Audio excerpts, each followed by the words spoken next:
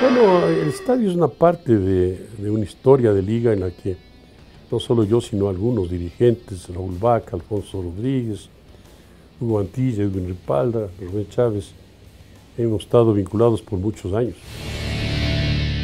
Y bueno, ha habido momentos dramáticos con Santos del Brasil. A los cinco minutos nos ganaban 2 a 0. Yo casi me voy del estadio, que dije, aquí viene una avalancha.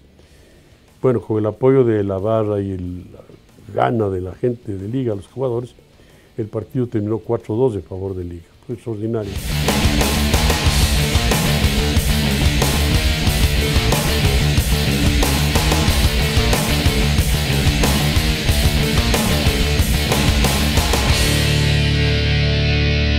Una asamblea de socios y ya creo que estaban incentivados por lo que había hecho Barcelona con su estadio y ellos querían un estadio mayor.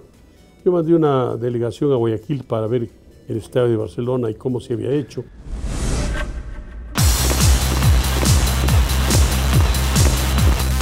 La inauguración del estadio fue en marzo del 97, eh, una vez que el estadio estuvo completamente concluido.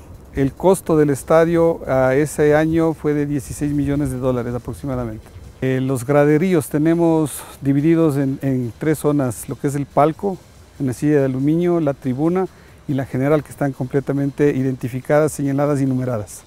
Cada suite tiene la posibilidad de acceder, tiene la posibilidad de acceder hasta 18 personas. La capacidad del estadio, como les había dicho, 41.592. La cancha eh, cuenta también con una iluminación artificial de 216 lámparas de 1600 watts.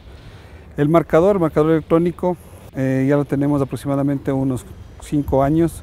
Estamos eh, en espera de poder conseguir y ubicar un segundo marcador en el otro extremo del estadio. Esperemos que en poco tiempo se haga realidad.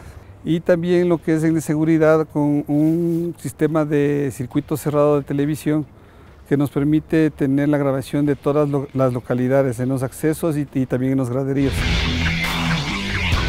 Pero el hecho de haber podido construir un estadio que no le cuesta nada a Liga, que no tuvo un solo aporte ni gubernamental ni estatal. Eso es un motivo de mucho orgullo para nosotros. El haber sido parte de esa historia, el haber podido ayudar a construir muchos momentos difíciles cuando el estadio necesitaba financiamiento y no teníamos, hubo que poner eh, la firma personal para salir adelante, pero salimos adelante. Entonces eso es motivo de enorme orgullo y satisfacción.